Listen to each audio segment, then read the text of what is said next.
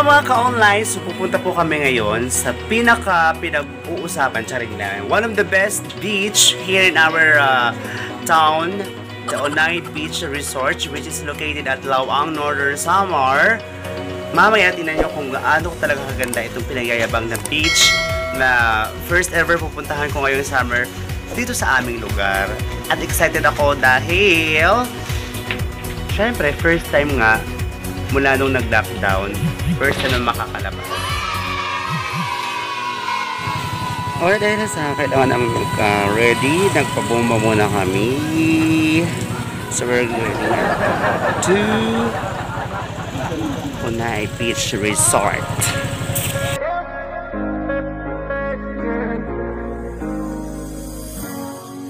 I'm on the train headed back to Indiana.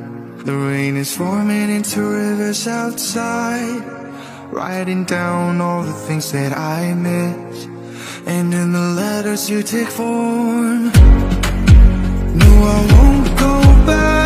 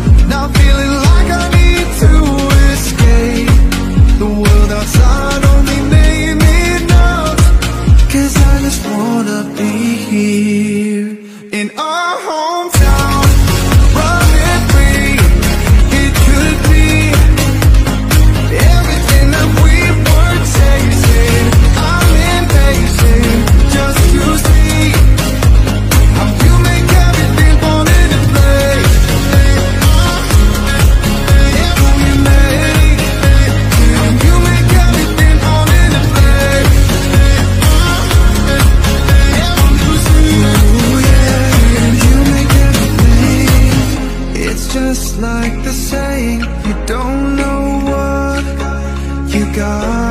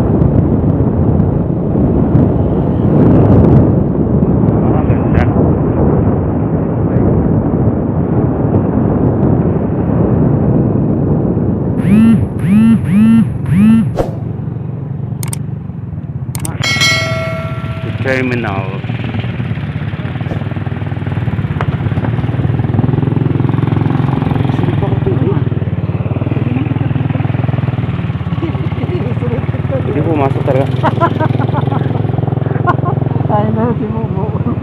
Gusto ko si Momo. Kailangan na po. Lawang Integrated International Terminal Airport.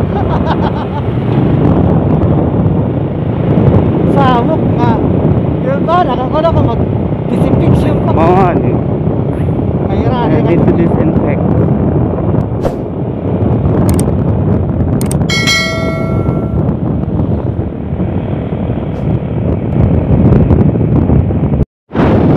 na at the uh, Rawisport Rawisport going to Lawa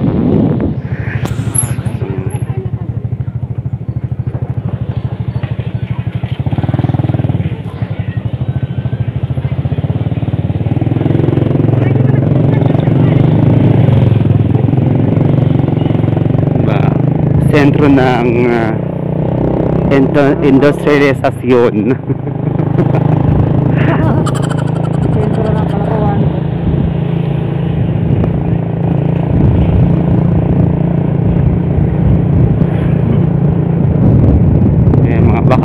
ambo, bagyong ambo.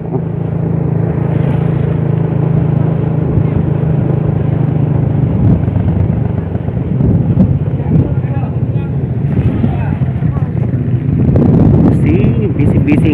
Ang busy ang karoon. Tatalong kami. Para kami tatalong. Lusad na ako. Mulusad na ako. Mulusad na ako. Eh,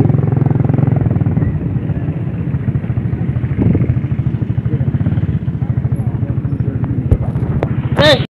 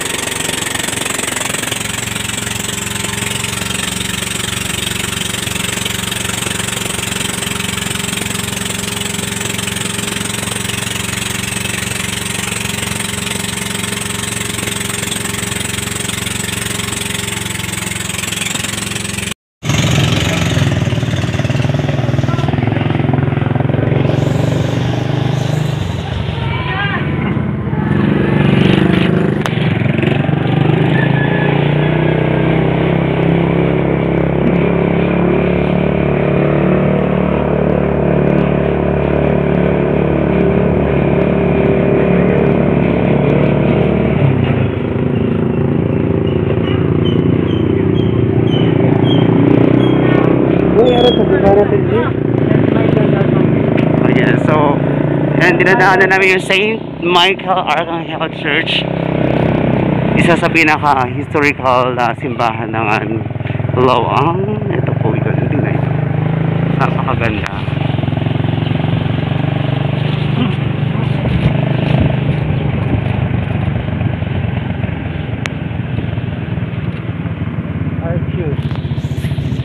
Kasi, Ayan, yun, yun, oh. Kanilang uh, park. Park. Ano yung nangyari sa'yo? Immaculada. Makilala park? Ah. Plaza Immaculada. Kanilang municipal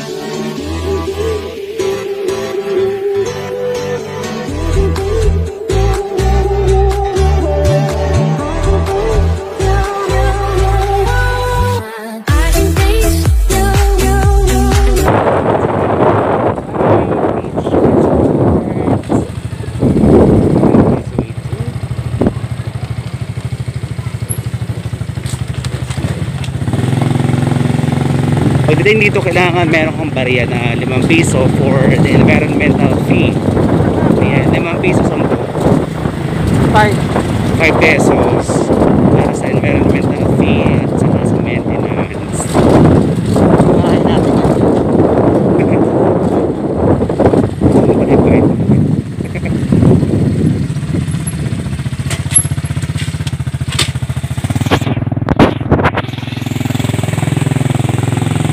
Greenhouse. Pan, panguan ka. May balibal din dito. Uy. Panhugas ka na lang. Yan dawa. Yan at ang kabataan. Kadiri may coins. Ate. Ay, kailangan mag-log.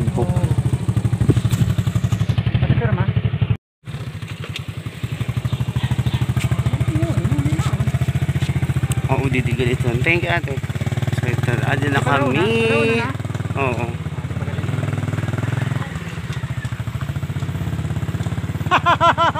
Ito, wala na May sa... paman, may pamandukot. Sarado din eh. Ang bukad na ang kuan, karibungan.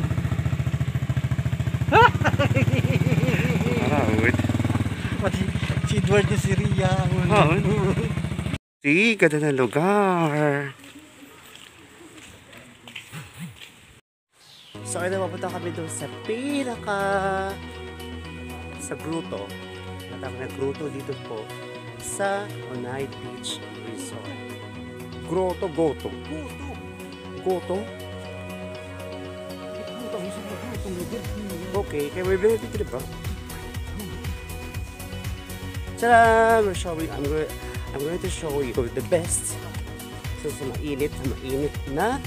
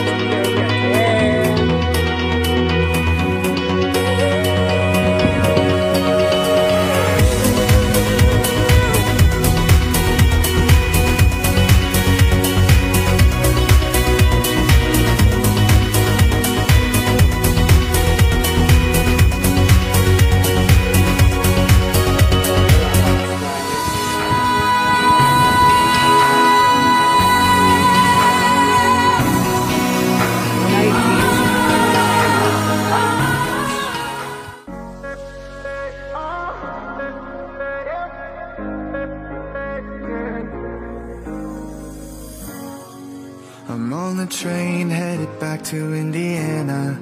The rain is forming into rivers outside.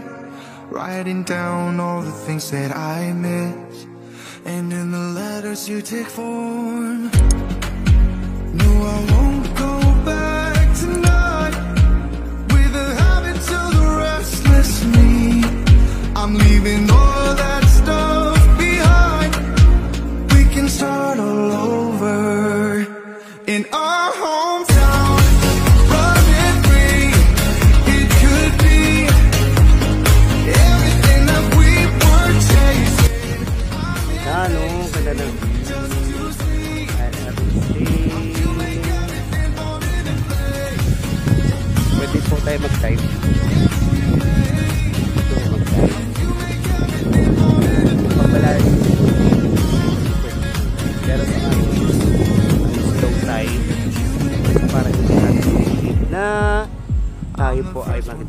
ngayon. Sana, sana malas, madalas tayo para masakit, hindi ka masasaktan. Delikado pag ganito, low tide.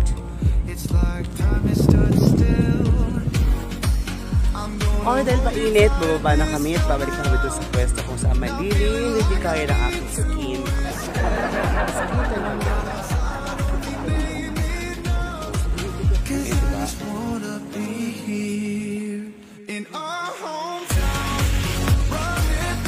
Alright, so nakikita natin, merong mga available cottages dito na napakamura lang.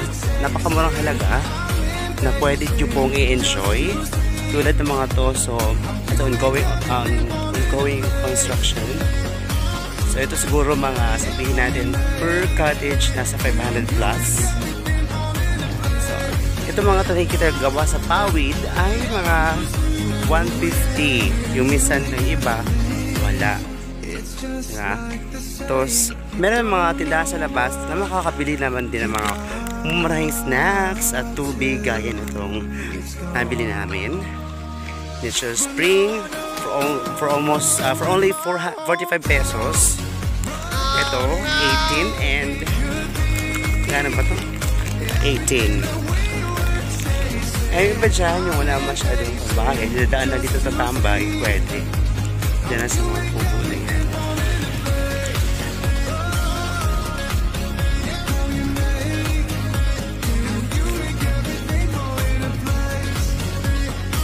mga cottage na to, nagawa lang sa pawit. Napakasimple, saktong pang ah, banding lang ng barkada, pamilya, for only 200 pesos.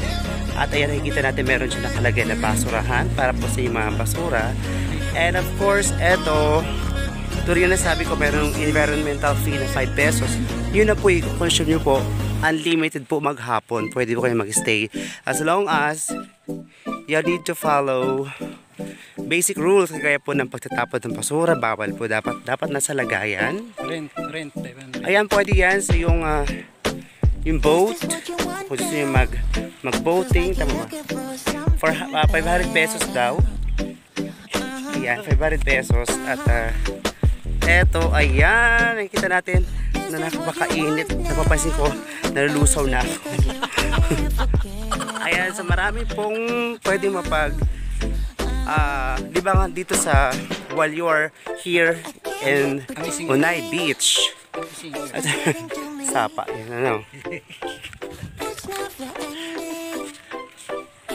Tulad niya may mga humahabol naman. May gumagawa ng mga cottages. Siguro yan is worth 300 pesos. Samantala nga yung mga nandun na iba yung pamalaking event pwede doon naman debut, reception siguro mahal yun. Mga 3,500 to 5,000 yung range noon yung price range. Syempre hanggang maghapon na siguro. Iba rin dito yung price kapag overnight. So ito ito ditong uh, nakakuha ng camera natin ay ano to dito? Parang lumang cottage na to dito ah lumang resort. Ayan. lumang rest house. Ah, hindi na na masyadong naalagaan ng may-ari so ito na ngayon yung pinaka-signage ng Unay. Meteorite. Na tawag siya talaga ba? So ito yung mga dati malalaki mga malalaki dag Dati kalahati lang ngayon hindi na nakompleto yung word na Unay na wala na yung letter Y. Siguro sa, sa mga bagyong dumaan dito summer kaya nasira yung I love love Unay. Nasaan na yung Y I love Una na lang. So napakaganda siguro kung ma-maintain at may develop na ng bongga So hindi lang to sa resort, yung kalahati nito, almost kalahati ay residential area din ng mga Tagalawang. So meron dyan kaganyan, barangay ng Luisa, Don Luisa? Doña Luisa, barang, oh, barangay Doña Luisa, pero dati nga ang tawag nito ay Unay, kaya tinawag ito Unay, which is may connotation na ang pangit na ibig sabihin sa Bisaya. Ayun, so, dito kasi word na unay is like suicide. Parang gano'n. So, ngayon, binago na dun, dun yung Luisa ang lugar na to. Pero syempre, nakasanayan ng karamihan na tawaging Unay Beach. So, itong aming dinadaanan is residential area na Punta sa dulo. o pupunta doon sa dulo at parang feeling ko doon kasi maganda yung Sa right side din sa dulo. oo, ito yung magandang view tingnan nyo naman panoramic view at meron Sa Mars. Nadaan.